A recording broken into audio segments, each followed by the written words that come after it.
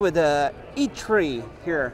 Yes, hi. Hi, so who are you? Uh, my name is Hui Hui Lo. I'm responsible for international collaboration of Industrial Technology Research Institute. So ITRI is a famous university in Taiwan? Um, very, very famous Research? research institute i- in the world, not just in Taiwan. Leader. A leading research institute, yes. And what are you showing here? Uh, what we're showing here is a highly integrated uh, functional front plate. And on top of the touch sensor, there is a ultra thin circular polarizer. And on top, there is a 7H hard coat. And this is very thin, it's only 80 micron in thickness.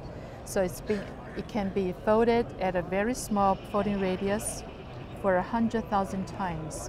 And you can see here that even being folded for that many times, the touch function is still normal, where you can see, especially on, in the folding area, that the touch is normal. So what do you use for touch?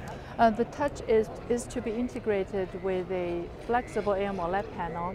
And uh, although we don't have an AMOLED panel this time, but we will be showing in the upcoming September Touch Taiwan exhibition and uh, integrated with an active foldable plastic AMOLED panel. Do you have it in Computex next week? Uh, not, Not yet. from Computex, Not yet. but Touch Taiwan. So uh, this is uh, is it is it based on silver nanowire or something else? I know it's on ITO, but we have ITO? yes, we have Flexible very- ITO. Yes, it's a specially designed ITO. How is this possible? ITO normally is only glass, right? Uh, it's inorganic, it's not glass, it's inorganic material, but we do have a special design to overcome the flexibility issue. All right, because uh, everybody's talking about the flexible displays now, Right. and you have touch solution for that, Yes, and is as good as normal touch.